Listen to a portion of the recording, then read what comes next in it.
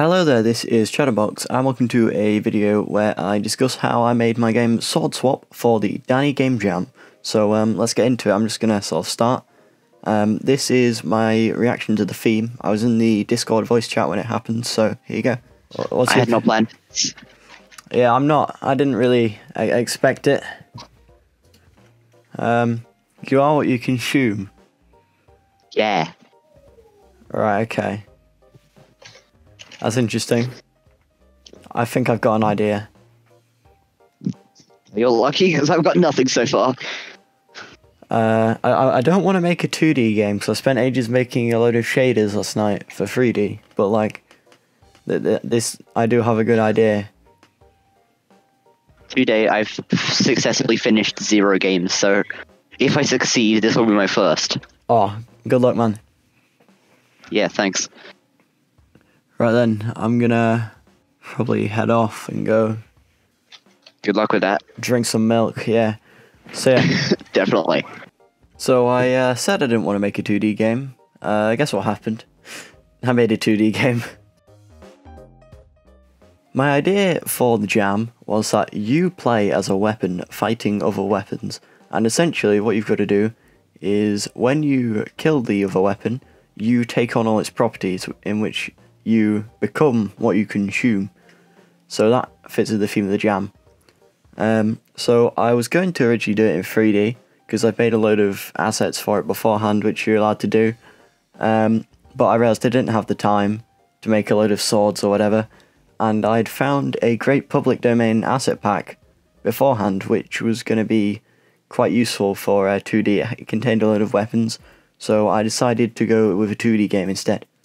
So I imported all my sprites and made basic movement and a spinny attack because that's how I wanted to attack. Next was a turn to make some basic enemies and so I created some pathfinding for them. So that's actually all I did on day one, but it was a pretty solid foundation and that takes us on to day two. After that I decided I wanted to make some procedural levels everything was going quite well Unfortunately, my maths was kind of off and the levels didn't always generate properly, so I decided to scrap that and maybe try something else. But then I had an absolute stroke of genius. Since 2D is one less planes of reality than 3D, it's actually a lot easier to generate levels for them. And my idea was Perlin noise. This is a simple 2D algorithm that generates a smooth um, sort of noise pattern and what I decided to do was try and make some levels from that. So a quick Wikipedia search later, I had a little Perlin noise script, and what I could do is I could get that, and I could round the cells to either be a cell or not. This on top of the basic room system that I'd already created made some really cool levels. Unfortunately I had some problems with this too. The unpredictability of the random algorithm I was using meant that sometimes the player would get stuck in some rooms and they couldn't actually complete the level. So what I had to do was think of a way around this.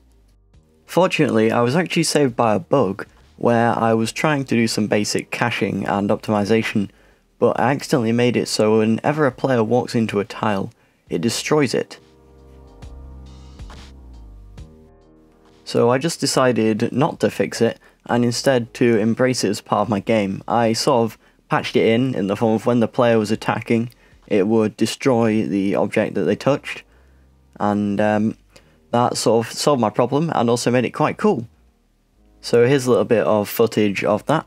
It just does damage to the block based on the weapon's damage, and then if the health of the block reaches zero, it deletes it. Now then, I say the uh, weapon's damage because I actually wrote a system that meant I could add in a load of weapons. I ended up adding in, I think, 23 weapons to the game. And essentially what I did was I made an object that held a load of values, such as the sprite, the sound, and the damage and the properties of the weapon. And that meant I could make a load of weapons really quickly. And so I spent about an hour adding in all 23 weapons and making it so the enemies spawn with different weapons and stuff, and you could use them and access the properties and that is probably my favourite part of this um, game that I've made. Just um, ignore how bad the code is. It was originally a scriptable object, but then I decided it'd be a lot easier if I just handled all the weapon logic on one script, and everything had this weapon script, so the enemies and the player, and uh, that that that's why the comments are there, because um, it's not incredible code. It does actually throw errors every frame, unless I put it in this try catch block, and um, it's probably not the best way of handling code. Um, I I would probably shame myself for it in a video, um, but we'll just look past that. And so after that I decided it was time to make the main menu. It's got a play and a credits button. And you might notice on the credits scene that I'm not alone for once. I'm working with an awesome musician who posted on the uh, community section that he was looking for a team and so I decided that that would be awesome because I'm not very good at making music and he is so there'll be a link to him in the description. And that's all for day 2. I got a surprising amount of stuff done on uh, day 2 and over the next few days I just added in some screen shake, some block shake, um, I added in some little bits of polish, made the spawning a bit more robust, um, but I didn't really do too much after that.